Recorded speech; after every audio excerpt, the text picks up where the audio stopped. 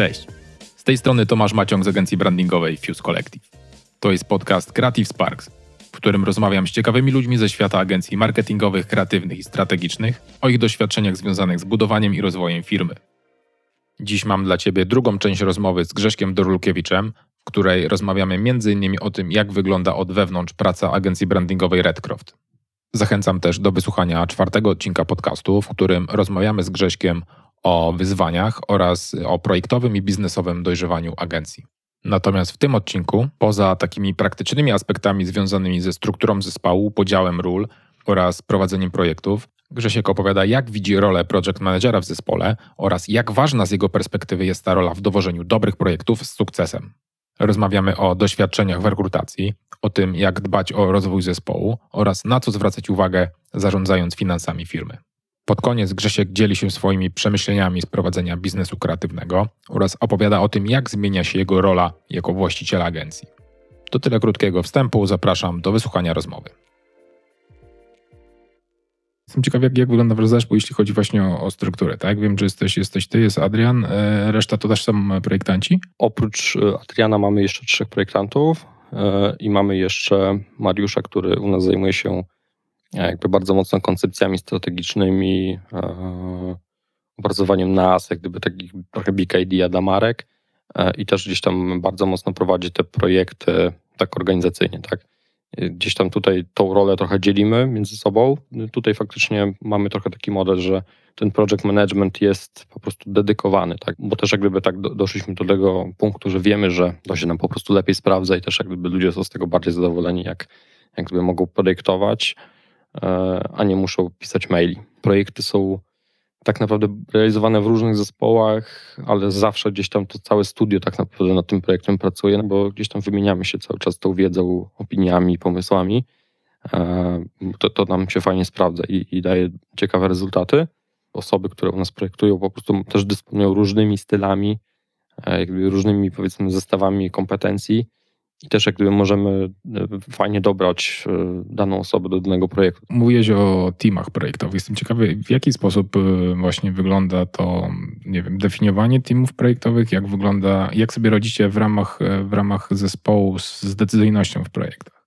Jeżeli pracujemy powiedzmy nad jakimiś dwoma koncepcjami danej identyfikacji danej marki, to zawsze robią to dwie osoby, które trochę mają powiedzmy inne podejście. Tak jakby no, realizujemy ten sam brief, ten sam koncept, taki ogólny, strategiczny, ale jego też można często zrealizować trochę na różne sposoby i też staramy się po prostu robić, jakby dobierać tak osoby, żeby jakby ten zestaw był bardzo różnorodny i żeby jakby nie wypracować dwóch e, jakby produktów, które są po prostu bardzo do siebie podobne. Tak?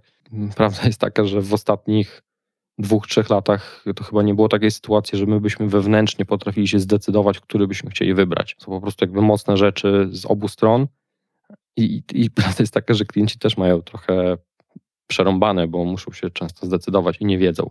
Jedna lub dwie osoby gdzieś tam to nadzorują strategicznie, jakby mm, kliencko i tak dalej. No i później, jak przechodzimy do etapu takiej finalizacji, no to zawsze z projektem zostaje osoba, powiedzmy, która tą linię stworzyła. No i wtedy oczywiście, jeżeli projekt jest mniejszy, no to ta osoba to prowadzi do końca. Jeżeli jest większy, no to też oczywiście dodatkowe jakby osoby dołączamy, żeby jakby to wesprzeć. Te klocki, układanki takiej project managementowej no są takie dosyć mocno e, skomplikowane i no często tam musimy bardzo kombinować, żeby poukładać to wszystko z sensem. Znaczy staramy się działać po prostu na planach, a nie, a nie ad hoc. Wiesz co, wracając trochę do, do tego tematu decyzyjności i też z takiego praktycznego punktu widzenia, no bo tak, zespół projektowy zakładam, że pracuje nad jakimiś koncepcjami, pewnie więcej niż dwoma, bo gdzieś tam na początku trzeba tro, tro, trochę tego wygenerować, tak? Więc z takiego pra praktycznego punktu widzenia ktoś musi podjąć decyzję, w których kierunkach idziemy, w których nie idziemy. E, więc jestem ciekawy, jak to wygląda właśnie od, od, takiej praktycznej strony i jaka w tym wszystkim jest rola potencjalnie dyrektora kreatywnego, jeśli Adrian takim jest. Wiesz co, y, jeśli chodzi o dyrektora kreatywnego, to tak formalnie trochę tego tak nie definiujemy, tak? E, Adrian gdzieś tam jest powiedzmy mm, headem jakby części designu i on jakby pełni pieczę jakby nad tymi projektami e, i gdzieś tam no, wszyscy też jakby chcą z nim konsultować e, jakby swoje, swoje rzeczy, ale u nas to jakby staramy się to tak robić trochę mniej hierarchicznie i każdego dnia rozmawiamy o tych różnych rzeczach, które się dzieją, trochę sobie wszyscy po tym biurze krążą, jakby podglądają, co robią inne osoby i I to jest tak, że wiesz, jakby ktoś projektuje, ktoś przechodzi jakby z kawą i, i mówi, wiesz co stary, ja, kurczę, może inny fontoch albo coś, może trochę w prawo, może w lewo, a może w prawo. Zdarza się tak, że po prostu podjeżdżamy wszyscy na, na fotelach do, do, do, jednej osoby i siedzimy się, gapimy w ten monitor i po prostu coś tam jakby y, oceniamy, wymyślamy i, i, wszyscy w tym uczestniczą, tak? I, I moim zdaniem to jest świetne. Oczywiście pewnie y, z punktu widzenia takiej produktywności zespołu to może nie jest jak gdyby najbardziej optymalne, mm, ale to fajne daje takie poczucie, że wszyscy ten projekt tworzą. Nawet jeżeli to nie jest moja koncepcja, to mam tam swoje jakieś trzy grosze i czuję się jakby zaangażowany w powstanie tego. E, I to, to wydaje mi się, że jest fajne i, i daje ciekawe rezultaty. Chciałbym, żebyś spróbował się zmierzyć z, z opowiedzeniem o tym, o takich praktycznych aspektach tego, co robicie właśnie, jeśli chodzi o zarządzanie projektami, tak żeby te projekty gdzieś tam były no, do ogarnięcia, żebyście wiedzieli, co się dzieje, tak żeby to, żeby gdzieś tam to w miarę, w miarę płynnie, płynnie płynęło do przodu. Oczywiście zależy od skali, jak gdyby ilości pracy, tak ilości osób na pokładzie i tego, jak dużo rzeczy się dzieje. E, no to różne narzędzia mm, jakby pomagają lub przeszkadzają. Jak pracowaliśmy we trzech, to nie potrzebowaliśmy przez długi czas żadnej aplikacji, na przykład do tego, żeby gdzieś tam kontrolować to, co jest do zrobienia, tylko trochę wystarczyła moja głowa, pamięć o tym, co jest do zrobienia więcej na kiedy e, i czasami kartka papieru z, z kalendarzem, e, gdzie mogliśmy zaznaczyć trochę taki prosty wykres Ganta, pokazujący kto nad czym pracuje i przez ile czasu i gdzie mamy powiedzmy jakieś luki. E, natomiast no, w, pewnym momencie oczywiście rzeczy się robi tak dużo, że mm, z jednej strony można stracić jak gdyby rachubę, co jest do zrobienia, na kiedy jakie są detale. Jeżeli pracujesz e, powiedzmy na mailach i musisz jakby spiąć głową i swoją pamięcią, która jest ograniczona, wszystkie te rzeczy, szukać na mailach, tracić czas na to i tak dalej, to jest po prostu nieefektywne. W tym momencie już chyba od ponad roku korzystamy z aplikacji, która się nazywa ClickUp, który jest trochę taką lepszą asaną. ClickUp ma to do siebie, że łączy tak naprawdę najlepsze funkcje z bardzo wielu różnych systemów. To nam daje po prostu przejrzystość. Tak? No, raczej nam się nie gubią taski, nie gubią nam się rzeczy, nie, nie zapominamy e, o tym, że coś było do zrobienia na kiedyś, tylko po prostu te rzeczy automatycznie trafiają do systemu, gdzie po prostu możemy nimi zarządzać i gdzieś tam w czasie i, i oceniać to, ile osób jest za, zaangażowanych i w jakim stopniu. Planowanie jest dla mnie super kluczowe. Tak? Ja jestem co do tego freakiem i ustawiam tam jakieś zależności, który task, w który wchodzi, po którym, od którego zależy, jakieś predykcje, że tutaj mamy czas na feedback.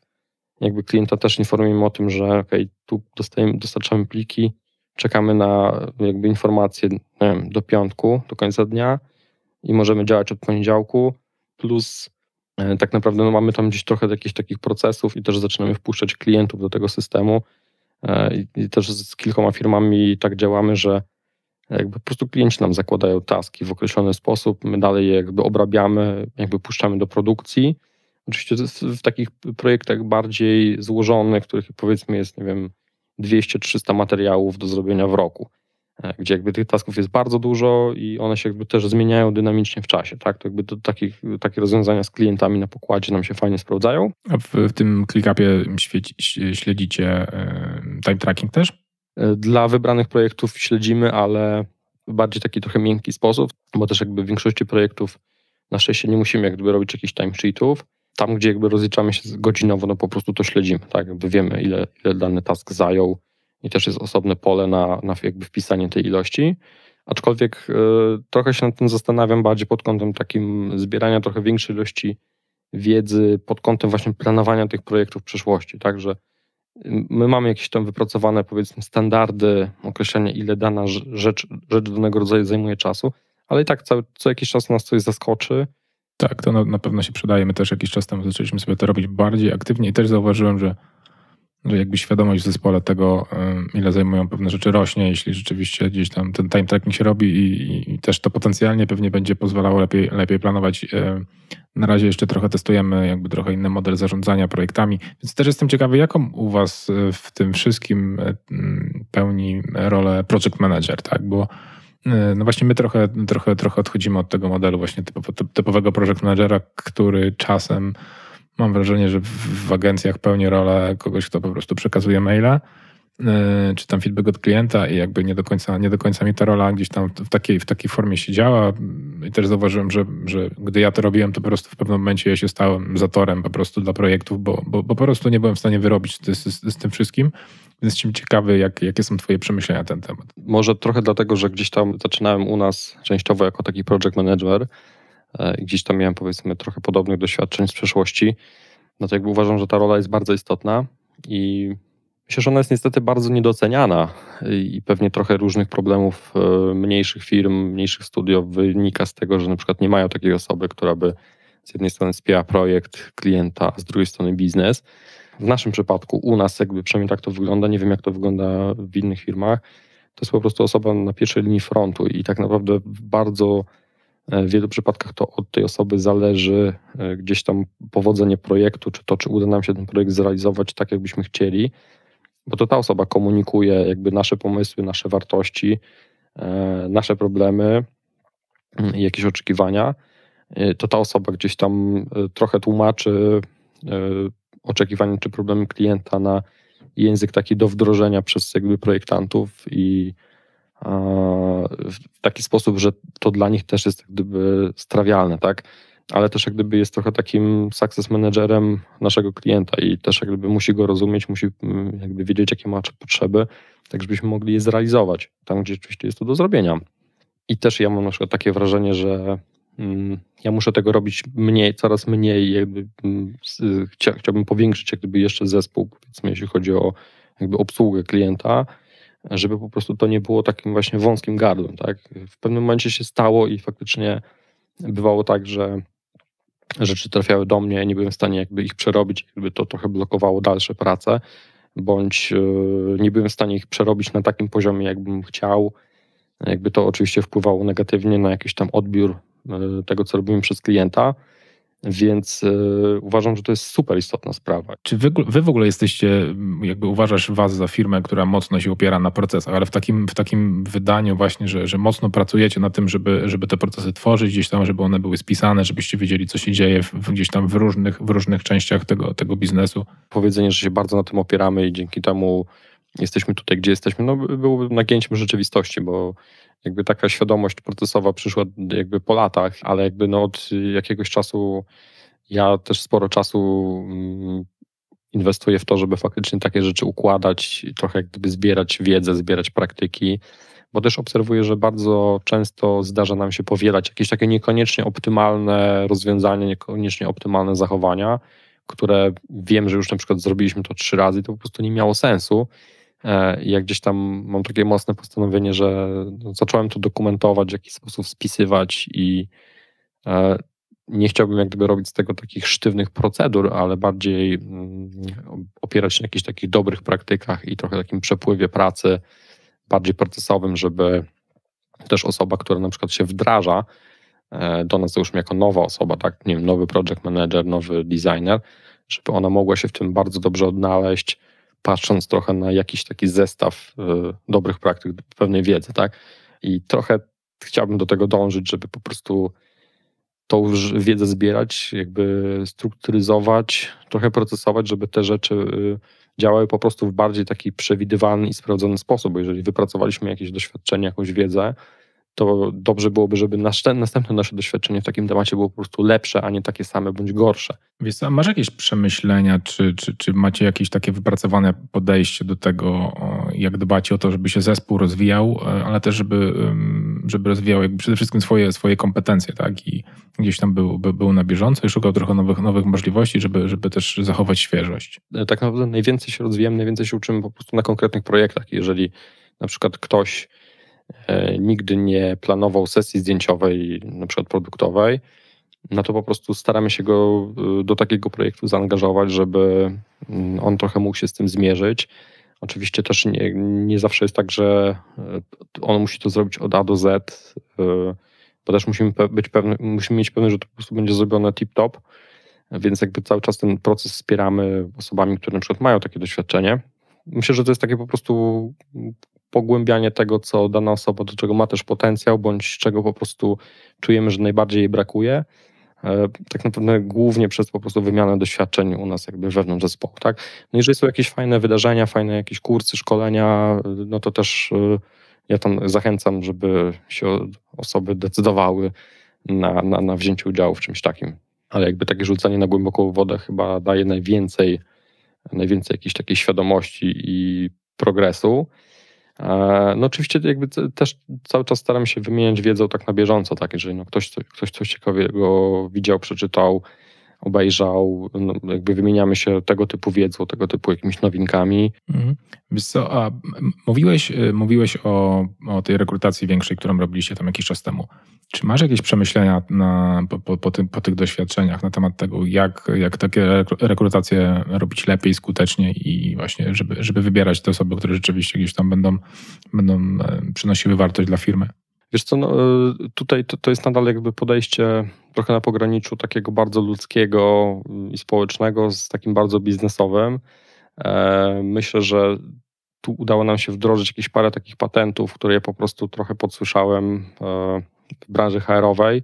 Akurat moja żona pracuje w firmie, która mm, jakby produkuje software dla, dla HR-owców do rekrutacji, więc e, że tak powiem, mam trochę z pierwszej ręki dużo informacji jakby w jakichś takich ciekawych metodach, e, praktykach i tak dalej, jak te rekrutacje prowadzić.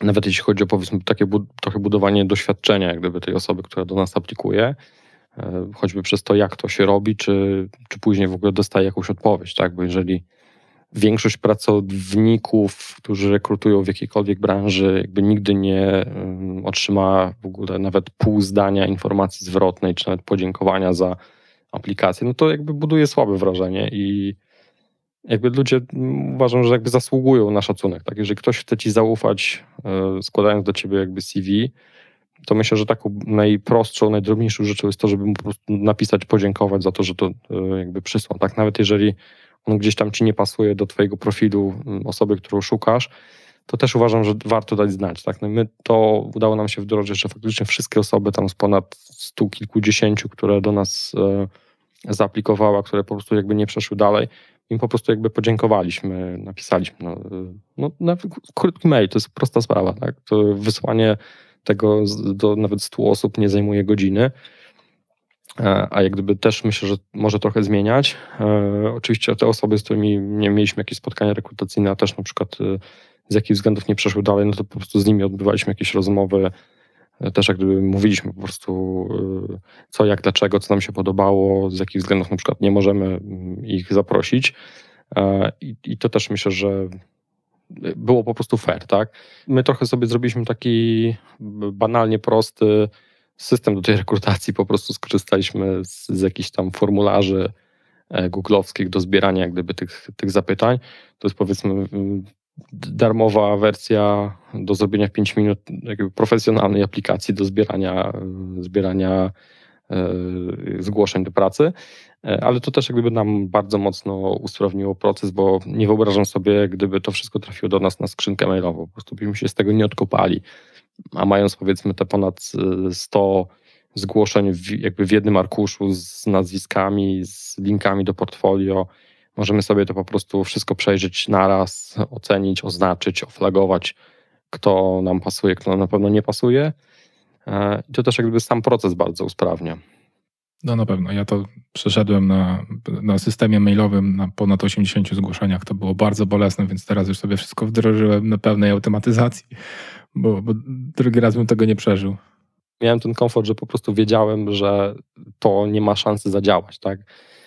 Ale jakby, no to, to jest taki proces też jakby nietypowy. My się na tym bardzo dużo uczyliśmy i nikt z nas nie, nie był HR-owcem i też nie miał zbyt wielu rekrutacji za sobą. Nie zatrudnił bardzo dużo ludzi, więc e, no to też jakby było bardzo momentami niekomfortowe, tak? Zadzwonić do kogoś, im powiedzieć, że słuchaj, dzięki, że wpadłeś, ale no, z jakichś tam względów nie możemy cię na przykład y, zatrudnić, tak? To są trudne rzeczy, tak? Nie chciałbym być HR-owcem. Chciałbym trochę pogadać, pogadać o finansach, tak? Bo jestem ciekawy, czy, czy po, po tych latach y, czujesz już w tej chwili, że ten biznes, y, że, że ten biznes wam się spina i to jest, to jest taki poziom, z którego jesteś usatysfakcjonowany. Wiesz, to spina się. Ja oczywiście jestem chyba trochę nadambitny i chciałbym cały czas, żeby to się spinało jeszcze bardziej. E, trochę pewnie w pewnym momencie zacząłem mieć przeświadczenie, że nie jest to jakaś branża, e, która pozwoli funkcjonować gdzieś tam na jakiejś takiej skali, jak, jak to się dzieje, nie wiem, nawet choćby w branży jakichś agencji reklamowych, tak? Załóżmy z tak, jakimiś takimi budżetami, takimi kapitałami czy możliwościami. E, oczywiście są na świecie firmy, które są duże i znane i jakby też mają odpowiednio wysokie ceny, Mm, ale to nadal nie jest y, produkcja wkrętów metalowych y, tonami eksportowanych na pół świata, tak? Y, więc jakby nigdy z tego nie będzie jakiegoś biznesu, żebym mógł latać prywatnym odrzutowcem. Nie mam też takich oczywiście takich potrzeb, trochę się śmieję. To jest bardziej, myślę, coś, co robisz z pasji i z jakby z, z trochę takiej ambicji tworzenia czegoś fajnego i jakby pomocy ludziom, pomocy firmom, jednocześnie gdzieś tam starając się być wynagradzanym adekwatnie do Twojego zaangażowania. E, także no jakby no mam świadomość, że to nie będzie jakiś tam gigantyczny biznes, nawet pewnie nie, nie ma szansy rozwinąć się do jakiegoś takiego poziomu, jak powiedzmy e, lepsze, większe studia UX-owe w Polsce, czy jakieś tam powiedzmy software house'y. Natomiast y, też myślę, że chyba nie mamy takiej potrzeby, żeby być jakąś gigantyczną firmą. Nie chcemy tego tak naprawdę. E, myślę, że jak będziemy mieli kilkanaście, nie wiem, kilkadziesiąt osób maks jakby w tych dolnych kilkudziesięciu, e, to będzie super, tak? Jeżeli uda nam się to po prostu rozwinąć do takiej skali, żeby to też nie było obciążeniem. A prawda jest taka, że im więcej jakby mamy osób, im więcej mamy tych zobowiązań, to po prostu jest też coraz trudniejszy biznes i wtedy faktycznie wystarczy taki jakiś kolejny koronawirus, e, jakby to się może po prostu poskładać, jeżeli tego dobrze nie zaplanujesz. Wy jeszcze w tej chwili e, rośniecie, rośniecie jako, jako biznes. Mówię, mówię stricte o, o, nie wiem, o przychodach, o takich stricte finansowych wskaźnikach, tak? Bo, bo jednak jesteście w, w podobnym składzie pewnie od jakiegoś czasu. Będę jestem ciekawy, jak to wygląda. Tak naprawdę z kwartału na kwartał gdzieś tam finansowo też rośniemy. E, nawet jak gdyby patrząc na powiedzmy przekrój e, nie wiem, ofert, które gdzieś tam przygotowujemy, zapytań, które o których rozmawiamy, to są też jak gdyby projekty coraz bardziej złożone, coraz większe, bądź nawet niekoniecznie bardzo ogromne, ale na przykład budżetowo dla nas gdzieś tam bardziej e, znaczące, tak?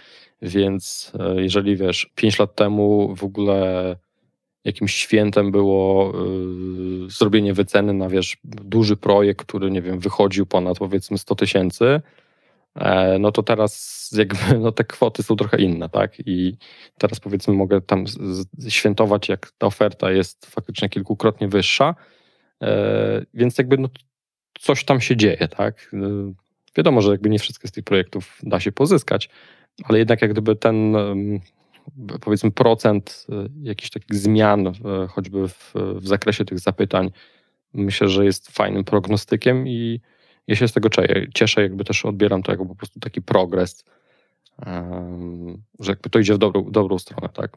Wiesz co, jestem ciekawy, jak, jak w tej chwili śledzisz to, co się dzieje od strony, od strony finansowej w firmie? Masz jakieś takie, nie wiem, narzędzia, czy jakieś wskaźniki, czy, czy, czy czego, czego używasz, żeby wiedzieć tak naprawdę, gdzie, gdzie jesteście finansowo w biznesie?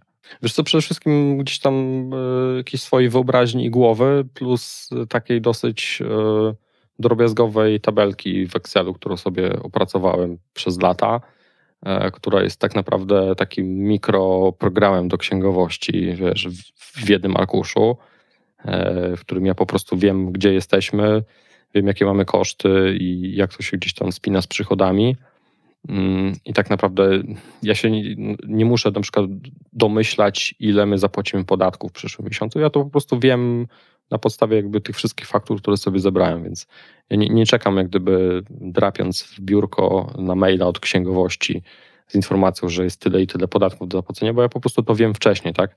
Też jak gdyby jestem w stanie w jakiś tam sposób y, tą płynnością zarządzać, jak gdyby tak z miesiąca na miesiąc i, i gdzieś tam w razie potrzeby pewne rzeczy mm, na przykład rozliczać w innym czasie, żeby załóżmy, nie wiem, nie mieć nie wiadomo ile podatków w danym e, momencie do zapłacenia, bądź gdzieś tam e, do rozliczenia innych rzeczy.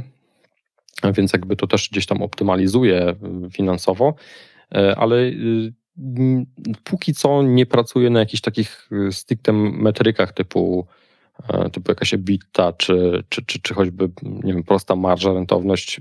W tej chwili nie jest mi to do niczego potrzebne, więc nie lubię robić takich rzeczy, które są sztuką dla sztuki.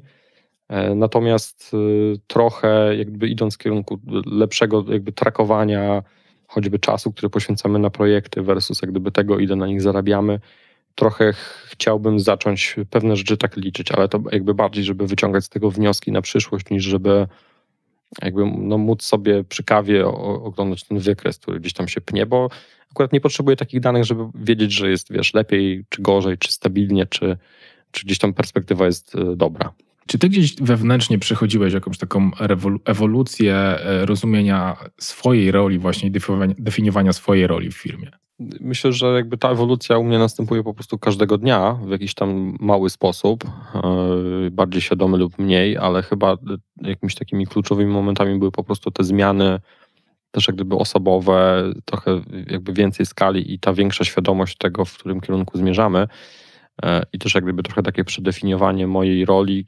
Ja jakby próbuję przedefiniować cały czas, bo mm, e, gdzieś tam jakby będąc tutaj od początku, mając konkretne doświadczenie, jakąś tam wizję, ja mam trochę taką tendencję do tego, żeby być zaangażowanym w zbyt wiele rzeczy e, naraz i gdzieś tam we wszystkich uczestniczyć, bo też jakby sprawia mi to satysfakcję, że jakby mogę mieć jakąś tam rolę albo nawet chociażby posłuchać jakichś pomysłów, E, ale wiem, że po prostu to nie ma jakby na dłuższą metę, nie może się tak odbywać, bo też na pewno blokuje jak gdyby inne osoby, e, ale tak naprawdę ta zmiana, chyba największa zmiana tej, tej roli to jest jakby faktycznie z takiej osoby, która trochę jak gdyby zajmuje się projektami, w osobę, która trochę zajmuje się firmą i jakby bardziej mm, pracuje nad firmą, a nie pracuje w firmie plus e, troszeczkę wyznaczanie jakiego kierunku i gdzieś tam bardziej trzymanie tego steru, żeby e, w tym kierunku podążać.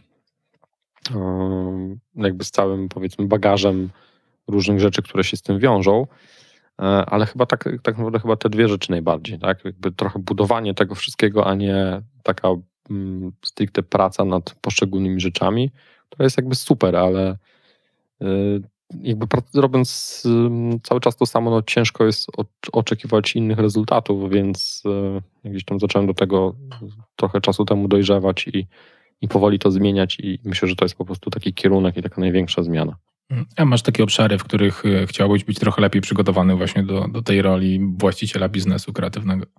Myślę, że e, takie ogólne trochę to jest chyba coś, co, z czym każda osoba, która gdzieś tam przechodzi z jakby pracy w firmie do pracy nad firmą problem, czy jakieś takie, nazwijmy to, delegowanie różnych obszarów odpowiedzialności czy zadań, żeby faktycznie móc powierzyć daną rzecz komuś, niekoniecznie jakby monitorować jej na każdym etapie. Mm, ja mam trochę jeszcze taką tendencję takiego micromanagementu, która po prostu męczy mnie niesamowicie i jakby nie lubię tego w sobie, chciałem to bardzo zmienić i trochę może, może to już wychodzi lepiej niż na początku, ale na pewno jest tam jeszcze dużo do zrobienia.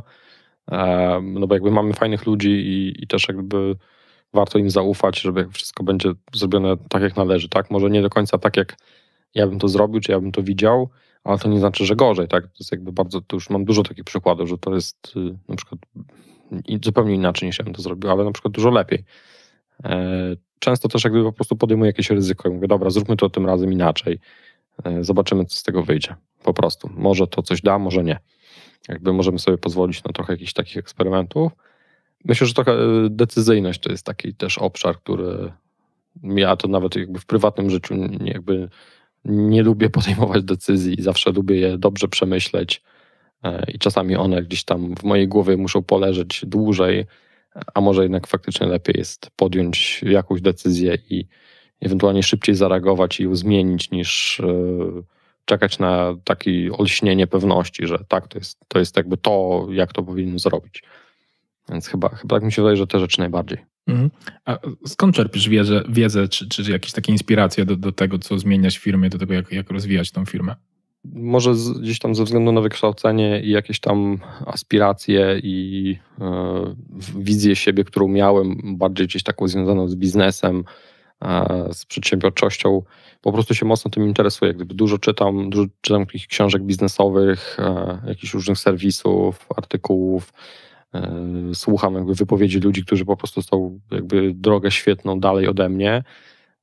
i po prostu jakby no, staram się jakby czerpać z tego taką inspirację, pomysły, trochę jakby próbować odnosić to do, do naszej sytuacji i też jakby myśleć w jakim kierunku e, jakby można iść. Lubię też bardzo rozmawiać tam z naszymi klientami, tak, o ich biznesach, o ich sytuacjach. E, to też jakby po, pozwala lepiej zrozumieć jakby sytuację, kontekst e, jakby tego ich biznesu, ale też jakby to są fajne rozmowy, bardzo rozwijające i też gdzieś tam przydatne, myślę, w naszej działalności. A czy masz jakieś takie książki, które, które przez ten okres zmieniły ci bardzo istotnie punkt widzenia czy myślenia o, o, o jakimś takim bardzo istotnym obszarze dla, dla waszego biznesu?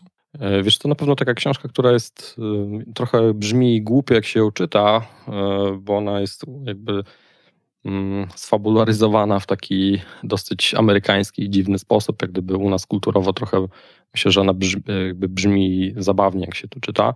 E, to jest Michael Gerber, książka się nazywa Mit Przedsiębiorczości. E, ona jakby mówi o tym, żeby faktycznie jakby prowadząc biznes budować e, system, tak naprawdę jeżeli nie masz aspiracji do tego, żeby stać się korporacją, to żeby jakby rzeczy układać jakby w procesy, w systemy, bardzo proste, tak, jeżeli nie wiem, prowadzisz sklep, to, to jak jakby Mm, wygląda witryna, to jak pachnie w tym sklepie, to jakby kiedy jest sprzątany, jakie są procesy, procedury, tak żeby jakby faktycznie utrzymywać e, pewien poziom, pewną jakość na stałym poziomie i też jakby móc e, tym zarządzać na bieżąco i w czasie. E, jakby ta książka, pamiętam, że słuchałem audiobooka w samochodzie, jakby w drodze do pracy i z pracy i ona mi po prostu poprzekładała w głowie tak mocno, że aż byłem zdziwiony, bo tak jakby jak się czyta to, czy słucha, to ona brzmi tak strasznie cheesy, taki, takim amerykańskim biznes coachingiem, e, ale jak gdyby ta lekcja, która z niej płynie jest myślę, że mega, mega mocna.